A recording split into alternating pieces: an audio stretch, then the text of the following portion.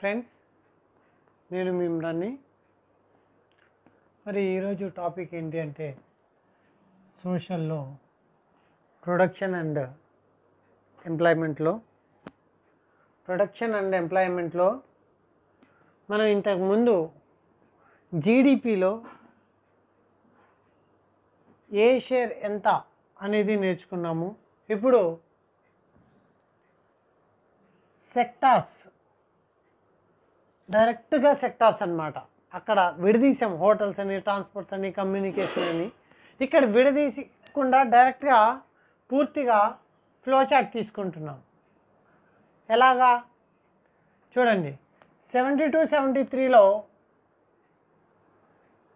తర్వాత రెండు వేల తొమ్మిది పదిలో ఏంటి డిఫరెంట్? ఏం జరిగింది అనేది చూడండి. అక్కడే డిస్కస్ చేసాం మనం.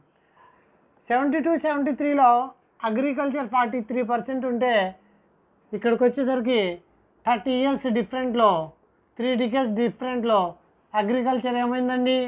సెవెంటీన్ పర్సెంట్కి వచ్చేసింది. నెక్స్ట్ ఇండస్ట్రీ అనేది ఇక్కడ ట్వంటీ టూ పర్సెంట్గా ఉంటే ఇక్కడ ట్వంటీ సిక్స్.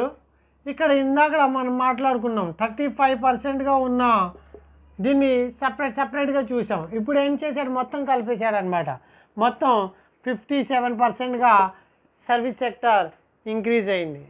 సో ఒక దేశం యొక్క ఆర్థిక వ్యవస్థ చక్కగా ఇంప్లిమెంట్ అవ్వాలి అంటే మరి మన ఒకప్పుడు మనం బిలో ప్రావర్టీ లైన్ కింద ఉన్నాం. అంటే పూరెస్ట్ కంట్రీ అంటే పేద దేశాల పేద దేశాల యొక్క అన్డెవలప్డ్ దేశాల యొక్క లిస్ట్లో ఉన్నాం. మరి ఇప్పుడు మనం డెవలపింగ్ కంట్రీ యొక్క లిస్ట్లోకి రావడం అనేది జరిగింది. దానికి కారణం ఏంటి అంటే ఈ సర్వీస్ సెక్టార్లో ఎంప్లాయ్మెంట్ పెరగడం అలాగే సర్వీస్ సెక్టార్ యొక్క ఎంప్లాయ్మెంట్ పెరగడం ప్రైమరీ సెక్టర్ తగ్గడం అనేది.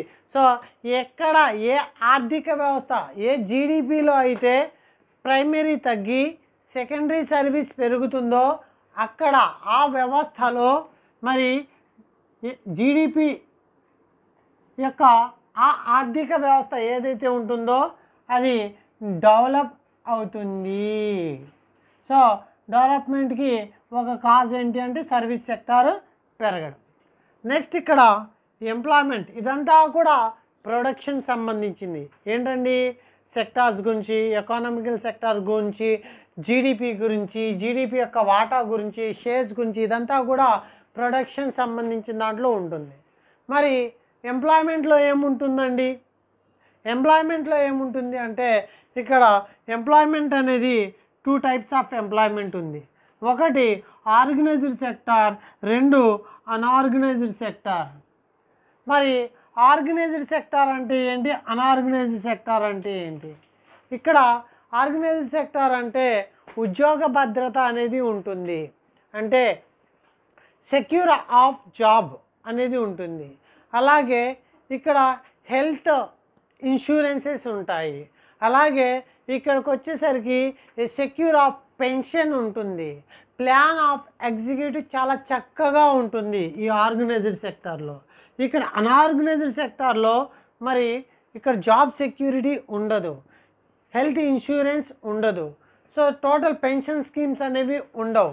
సో ఒక మాట చెప్పాలి అంటే మనకి ఇప్పుడున్న వ్యవస్థలో గవర్నమెంట్ జాబ్స్ ఏవైతే ఉన్నాయో అవన్నీ కూడా లేదా మంచి మంచి ఫ్యాక్టరీలో ఉన్నతమైన స్థానాల్లో ఉండే జాబులు ఏవైతే ఉన్నాయో అంటే ఎట్ ప్రజెంట్ ఏ ప్రైవేట్ సెక్టార్లో కూడా మరి ఈ జాబ్ గ్యారంటీ అనేది సెక్యూరిటీ ఆఫ్ జాబ్ అనేది ఎవ్వరూ ఇవ్వట్లేదు. కానీ గవర్నమెంట్ జాబ్లో వన్స్ ఒకసారి అపాయింట్మెంట్ ఆర్డర్ తీసుకుంటే మరి ఎటువంటి మిస్టేక్స్ చేయకుండా ఉంటే ఏ కారణము చూపకుండా తనకి అరవై సంవత్సరాలు వచ్చే వరకు తనని సస్పెండ్ చేయడం కానీ జాబ్లో నుంచి తీయడం కానీ జరగదు. అలా కనుక జరిగితే ఇతను అధికారికంగా చట్టని న్యాయాన్ని ఆశ్రయించవచ్చు. అలాగే నెక్స్ట్ అరవై సంవత్సరాలకి ఇతను రిటైర్ అయిపోయిన తర్వాత కూడా పెన్షన్ అనేది ఒకటి ఉంటుంది. ఇది మరి గవర్నమెంట్ సెక్టర్ ఆర్గనైజ్డ్ సెక్టార్ అంటే మరి అన్ఆర్గనైజ్డ్ సెక్టార్ అంటే ఏంటి? జాబ్ సెక్యూరిటీ ఉండదు. తన ఇష్టం అన్నమాట. ఒక ఎంప్లాయ్మెంట్ ఇస్తాడు తన అవసరం గురించి ఎంప్లాయ్మెంట్ ఇస్తాడు. తన అవసరం తీరిపోతే ఉద్యోగాన్ని తీసేయవచ్చు. లేదా చిన్న ఎవరు మిస్టేక్ జరిగినా మరి ఒకవేళ అధికారులు మిస్టేక్ చేసినా వానర్ మిస్టేక్ చేసినా మరి సర్వెంట్ మీద చాయిస్ వచ్చేస్తుంది. సో ఇక్కడ జాబ్ సెక్యూర్ అనేది ఉండదు. హెల్త్ ఇన్సూరెన్స్ అనేది ఉండదు. సో అలాగే నెక్స్ట్ శాలరీ అంటారా? దీనికి దీనికి శాలరీ కంపేర్ చేసుకుంటే మరి ఇక్కడ వీక్లీ వన్స్ హాలిడేస్ అని సో ఒక లీవ్ సెక్టారింగ్ అనేది ఇన్ని రోజులకి ఇంత భద్రత అనేది ఉంటుంది. ఒకటి వీళ్ళు వీళ్ళు పని చేసేది కూడా లీగల్గా న్యాయ ధర్మం ఏ రకంగా అయితే చెప్తాయో ఆ రకంగా రోజుకి ఇన్ని గంటలు మాత్రమే వర్క్ చేయడం అనేది జరుగుతుంది. వీళ్ళకి అలా కాదు.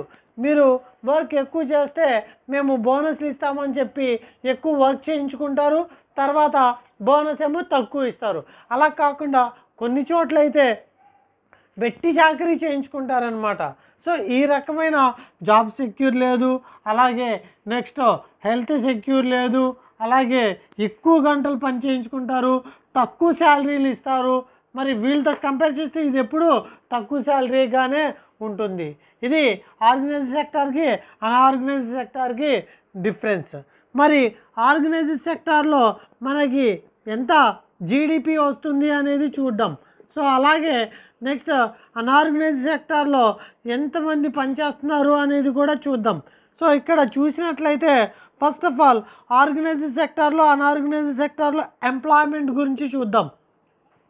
చూడు ఆర్గనైజ్డ్ సెక్టార్లో పనిచేసే వాళ్ళు ఎంతమంది ఉన్నారా అంటే ఎనిమిది మంది మాత్రమే ఉన్నారు. అంటే ఎనిమిది శాతం మంది మాత్రమే. అలాగే అన్ఆర్గనైజ్డ్ సెక్టార్లో పనిచేసే వాళ్ళు ninety two percent of people unorganised సెక్టార్లో పనిచేస్తున్నారు eight present but eight percent people organised సెక్టార్లో మాత్రం పనిచేస్తున్నారు. మరి ఇక్కడ మొత్తం వందకి ఇది. అలాగే జీడిపి చూసినట్లయితే ఆర్జ్ ఆర్గనైజ్ సెక్టార్ నుంచి ఫిఫ్టీ పర్సెంట్ ఆఫ్ జీడిపి వస్తుంది. అంటే ఈ ఎయిట్ పర్సెంట్ ఎంప్లాయ్మెంట్ తోటి జీడిపి మాత్రం ఫిఫ్టీ పర్సెంట్ ఇస్తుంది మరి ninety two percent employment GDP fifty percent మాత్రమే తీస్తుంది. అందుకే సర్వీస్ సెక్టార్ పెరిగినట్లయితే ఆ సర్వీస్ సెక్టార్ పెరిగినట్లయితే మరి అక్కడ జీడిపి పెరుగుతుంది. Eight percent people fifty percent జీడిపిని create చేస్తే ninety two percent of people ఎంత పర్సెంట్ జీడిపి క్రియేట్ చేయాలి? కానీ ఫిఫ్టీ పర్సెంట్. సో ఈ ఆర్గనైజ్ సెక్టార్ కావచ్చు లేదా ఏ సెక్టార్లో అయినా సరే సర్వీస్ సెక్టార్ అనేది బాగా పెరిగినట్లయితే ఆటోమేటిక్గా ఆ దేశం అనేది డెవలప్మెంట్ అవుతుంది అని చెప్పడానికి ఇదొక ఈ యొక్క స్ట్రాటజిక్స్ ఏవైతే ఉన్నాయో ఇవన్నీ ఎగ్జాంపుల్స్గా తీసుకుంటాం ఇక్కడ. Okay friends? మరి ఇది మరి ప్రొడక్షన్ అండ్ ఎంప్లాయ్మెంట్ యొక్క టోటల్ టాపిక్ అండి. మరి ఈ లెసన్ ఇంతటితోటి కంప్లీట్ అయిపోయినట్టే. Okay? Thank you thank you to one and all.